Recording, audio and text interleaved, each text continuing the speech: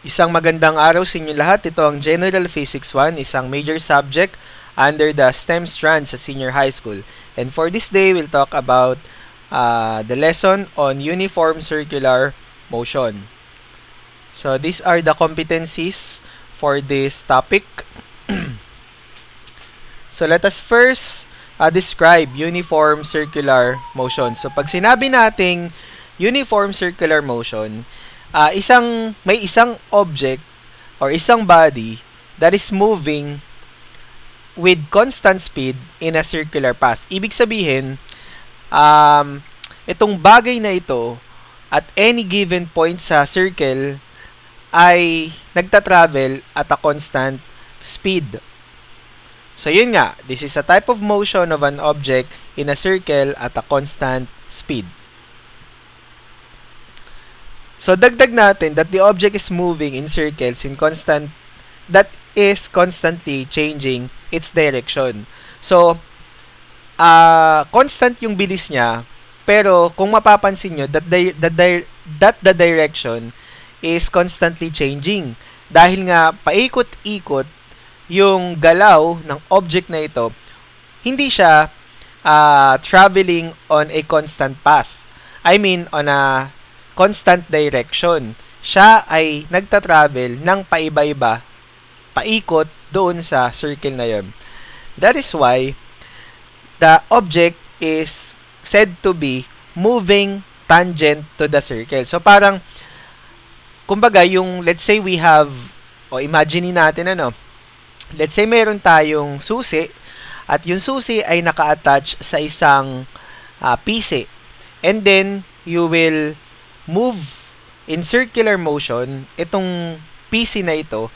And as you can see, yung key ay para siyang nagfo-form ng circle. Whereas, nagta-travel siya dun sa circle na yun. And the object, the key, is said to be in tangent o parang nakadikit siya at a point doon sa circle na ginagalawan niya.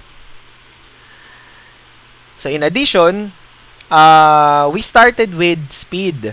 Pero since meron ng context about direction, then it is safe to say that the velocity vector is directed tangent to the circle as well since the direction of the velocity vector is the same as the direction of the object's motion. So pinag-uusapan dito yung direction nung bagay and therefore it is directed tangent to the circle.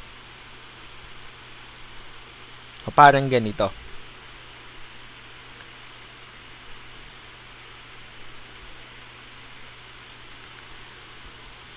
Ano pa yung masasabi natin sa circular motion?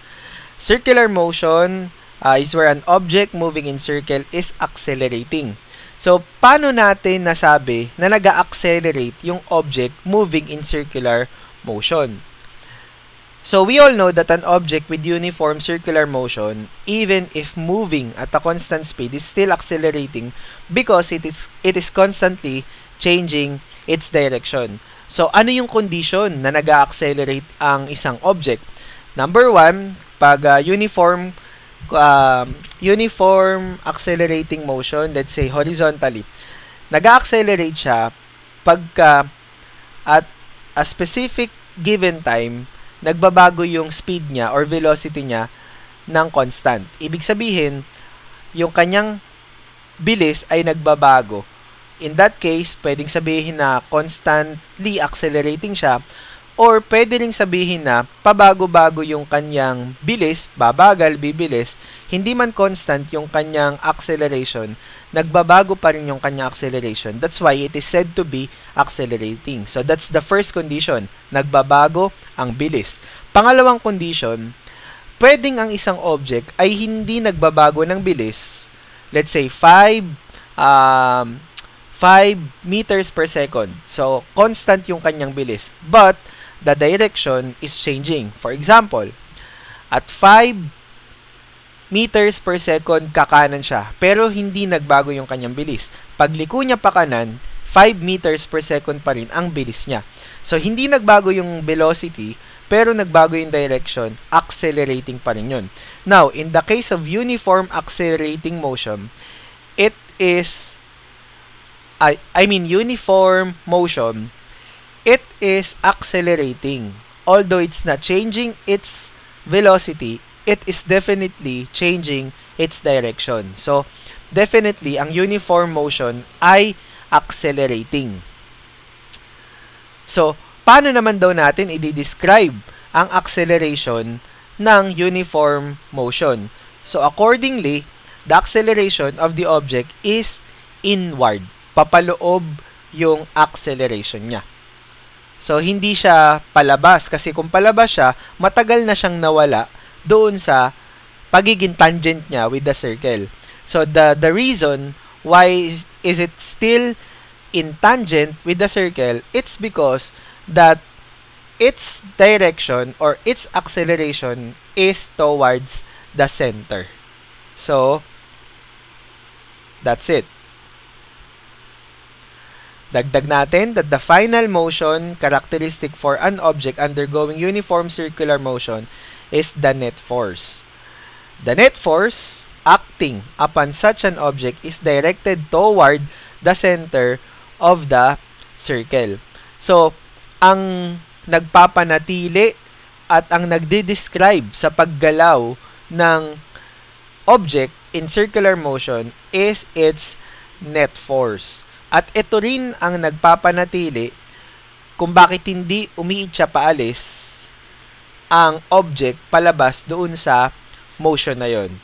So, papunta din saan? Paloob Why? Because acceleration is also inwards. And later on, you will see the relationship of force and acceleration when we try to solve problems under this type of motion. So, nabanggit ko kanina that the motion or the acceleration and the force is inward. So, pag inward ang force, ang tawag natin dito ay centripetal force. So, hindi man uh, kabahagi ng discussion nito, ang kabaligtaran ng centripetal force na outward naman is centrifugal force. Kaya nga, meron tayong tinatawag na centrifuge. Kasi ang ginagawa ng centrifuge, um, kumbaga, ang force niya is palabas para mapaghiwalay niya yung mga components na nilalagay doon sa centrifuge. So, parang ganun yung context. Now, without such an inward force, an object would continue in a straight line, never deviating from its direction. So, kung walang force na magpapanatili doon sa continuous circular path or motion, then walang reason kung bakit siya mananatili doon sa inward motion. And that's why it will travel on a straight path. Let's say, balik tayo doon sa uh, string na may key. Paikutin, and then bitawan. Hindi ba't iitsa siya on a straight line? Hindi naman pag binitawan mo siya, ay, ma, kumbaga, aalis siya sa kamay mo nang umiikot pa din. No, it will travel on a straight line. So, subukan nyo. Yet, with the inward net force directed perpendicular to the velocity vector, the object is always changing its direction and undergoing an inward acceleration. Okay, so siguro nabigay ko yung ilan sa mga context and somehow illustration kung paano nagwo-work ang iba't ibang quantities uh, sa uniform circular motion. But how do we calculate for the average speed? Um, first, let us be familiar with the circumference. Since we are talking about the circle, uh, we will be having the formula for the circumference or yung area, uh, I mean the perimeter noong circle na yon. So, an object would cover the perimeter of the circle or its circumference in each second of time. So, pag nakaikot na siya ng isa, uh, isang period na ang tawag natin doon. So, yes. So, period ang tawag natin pag naka-revolve siya successfully ng isa. In in mathematical viewpoint, uh, alam natin that the speed is distance over time. Pero since we're talking about the perimeter or yung path, yung daan ng circle, so para bang yung lateral or pahalang na distance ay inikot lang natin siya. So parang ganun lang yung naging context nun. So pag pag distance on a straight line, uh, bilugin mo siya, you get the circumference over time. So that is how we associate the distance form distance over time formula for speed and the circumference over time formula for the speed. So, ano yung formula ng circumference? So, circumference is 2 pi r where pi is 3.14. So, when we're talking about the average speed, uh, medyo magde-deviate tayo ng kaunti with the time because depende sa dami ng ikot yung cycle na nagagawa. But usually, uh, we use the formula na nandito sa taas. And later on, mas maliliwanagan pa tayo dyan sa formula na yan. So, balikan ko lang yung medyo malabo na context about the direction of the velocity vector. So, as the object rounds the circle, the direction of the velocity vector is different than it was the instant before. So, anong ibig sabihin nun?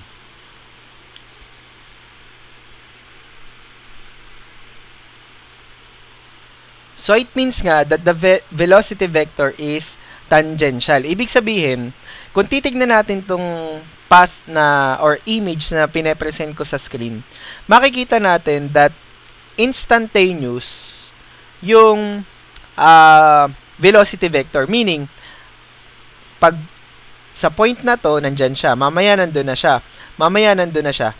Mamaya nandun na siya. It's because uh, the velocity vector is tangential at any given point in the circle, pag gumalaw yung object na yun, yun yung kanyang velocity vector.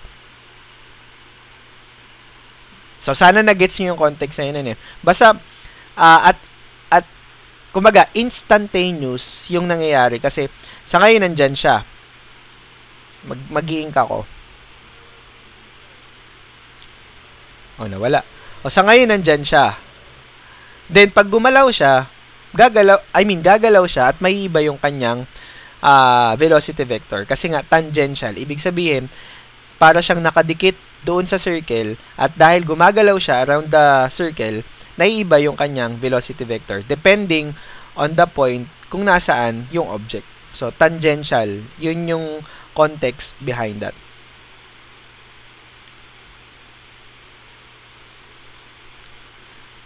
So, moving forward, Let's now have the different working equations. So, medyo papasok na tayo sa mathematical uh, concept ng uniform circular motion. So, I would want you first to be familiarized with the uh, different working equations that we will be using later on. So, for the average speed, sabi ko nga kanina, it's circumference over time since it's a circle or circumference over period pag madami. For acceleration, um, pwede natin gamitin this one. Or pwede natin gamitin this one. Ngayon, hopefully, habang uh, we're moving forward the, with a different lesson in General Physics 1, sana mas na-acquaint kayo sa paggamit ng kung ano yung appropriate na working equations. 'Di ba? Previously, in the previous uh, videos and lessons, I always remind you na ano yung, let's say in the given, ano yung nandun sa given. Pag, kung ano yung nandun sa given, definitely, dun lang kayo kukuha ng mga quantities na i-check sa mga given formulas. Now, if the quantity is not present, then you will not use the formula na merong missing quantity. So for acceleration, you can either use velocity square over r or radius or circumference over uh, period square. For force, uh, madaming formulas for force. Pwede, yung simplest, which is mass times acceleration. Pag given yung mass at given ang acceleration, you can you can stick with this formula. Pag hindi given ang acceleration, pero meron kayong velocity and radius, then pwede nyong gamitin itong second formula. At pag hindi given ang acceleration, hindi given ang v square over r, at meron kayong circumference or radius ng circle, then mas appropriate na gamitin itong third equation.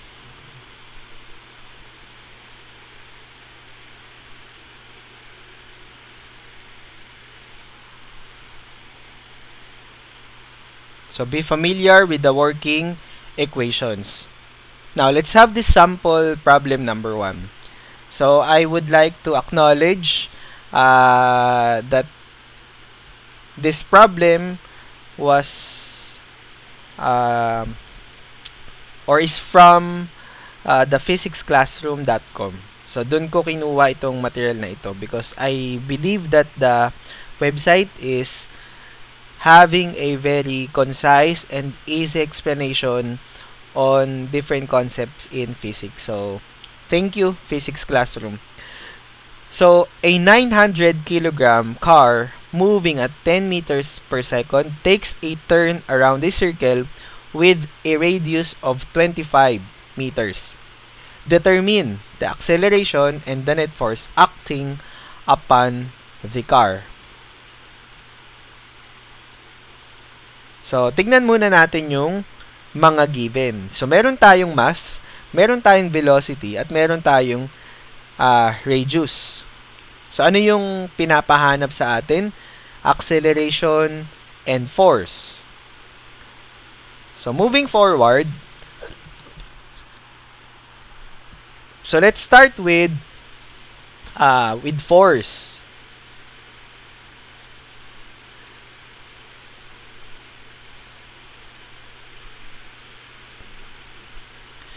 I mean with the acceleration. So, ang given natin, balikan lang natin, meron tayong mass, velocity, and radius. Kung titignan natin yung formulas, uh, yung first formula, merong velocity and radius. Yung pangalawa, may period. Unfortunately, we do not have the period in the given. That's why we will not use the second formula and we deviate with using the first formula, which is a lot easier uh, to grasp. So what do we do? So we substitute the values. So 10 uh, velocity is 10 meters per second and radius is 25 meters. So we square the velocity giving us 100 meter square second square. Okay? Times 25 meters. So what do we do with the units?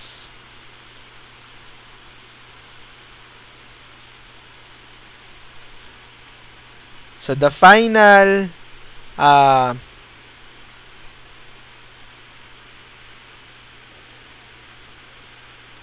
So the final answer for acceleration is 4 meters per second square. So since nasa uh, denominator yung 25 meters, I mean we we divide 100 to 25 giving us 4 and dahil nasa denominator si m we take its reciprocal, magkakaroon tayo ng 1 over m.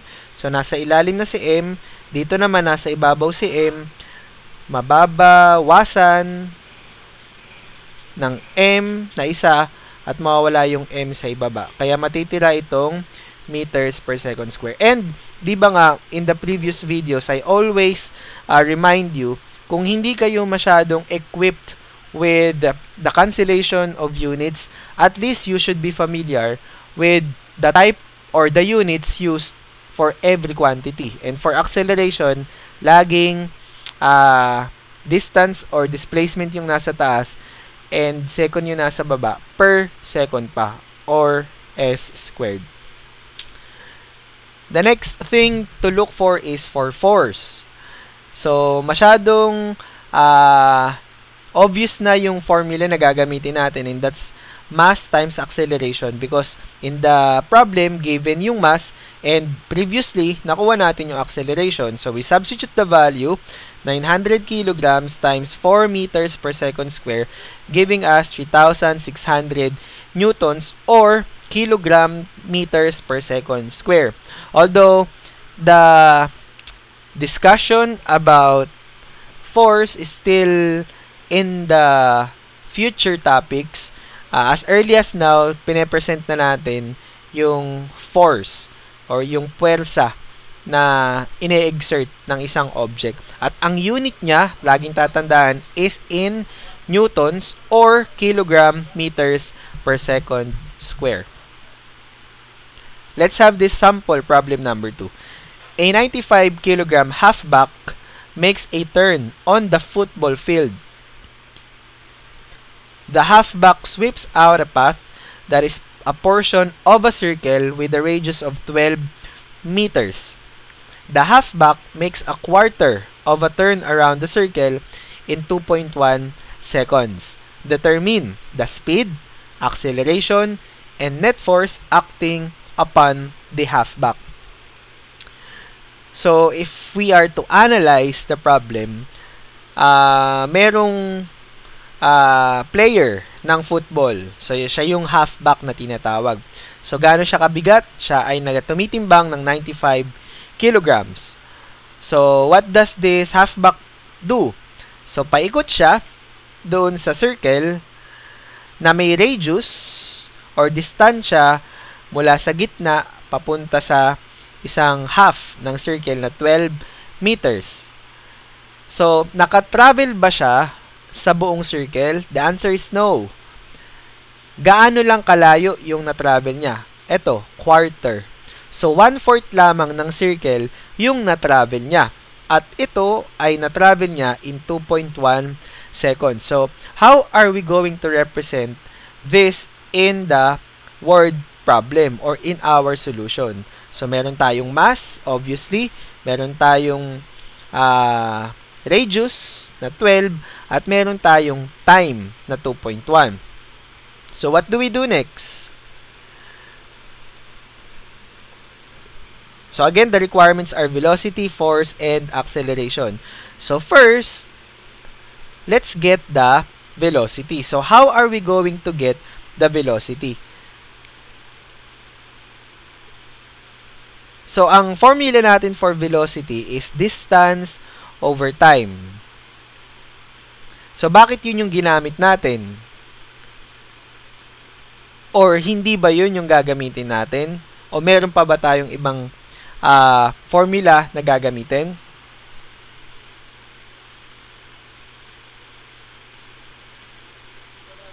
So, we use the formula 2 pi r over time for the velocity. Why? So kung mapapansin natin, hindi siya naka hindi siya nakaabot ng isang revolution. That's why we only take one-fourth of of the circumference. This one. So, one-fourth lang nito ang kukunin natin. So, we just substitute the value. No? And then, this is in meters, by the way. And then, we divide it by the time spent during the travel and that's 2.1 seconds. So we have 8.97 meters per second. So hindi natin ginamit itong distance over time kasi hindi niya naman na-complete yung buong circle. May consideration tayo in the problem that the halfback only took one-fourth of the circle. And we need to consider that variable. Kaya ang ginamit natin na formula is the second formula or at least the formula for circumference which is pi r uh, 2 pi r over time. We didn't use period because hindi nga siya naka uh, complete ng isang revolution. Plus another factor one-fourth lamang nung period na yun yung nagamit niya. That's why. Okay? Nakalimutan ko lang ilagay yung meters dito sa 12. But this should have uh, meters here. Para maging meters per second tayo. And meters per second is the unit for velocity. So, we're done finding the velocity. Let's find the acceleration. So, meron na ba tayong uh, ah, wait. We cannot use I'm sorry. I think I provided uh, the wrong sets of formula. Let me change it. Ayan. So, meron tayong dalawang sets of formula. So, definitely, we cannot use the second formula kasi nga wala tayong period in the given at wala rin tayong na-compute na period. So, it's easier to use the first formula because Previously, meron tayong velocity at meron tayong value ng radius which is 12 meters. So we just substitute the value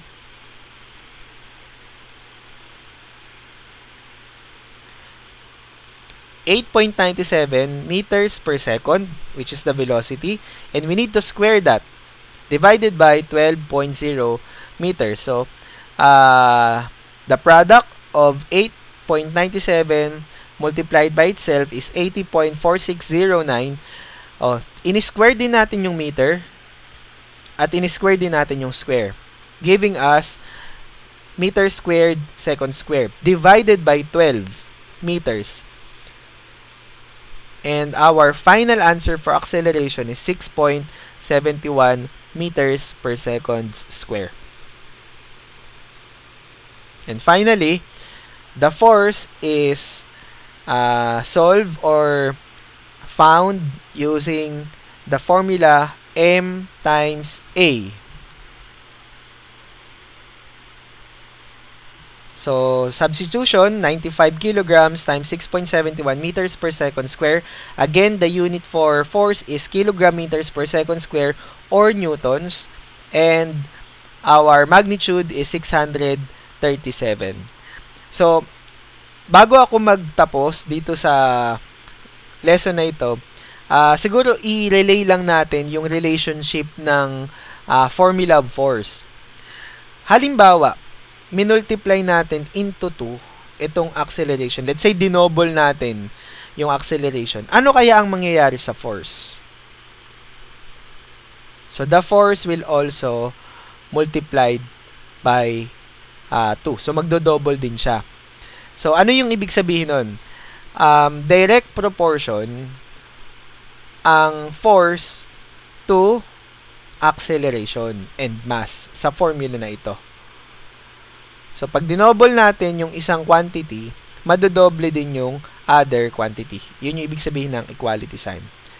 Kasi, you will try to explain uh, the first situation in this solve the following part. Okay? So, pag-aralang mabuti ang mga relationships and equalities ng mga formula para masagutan yung number 1. And for number 2 and number 3, you are to solve for what is being asked in the problem. So, that would be all. Uh, maraming salamat sa inyong panunood at pakikinig and magandang araw sa inyo lahat.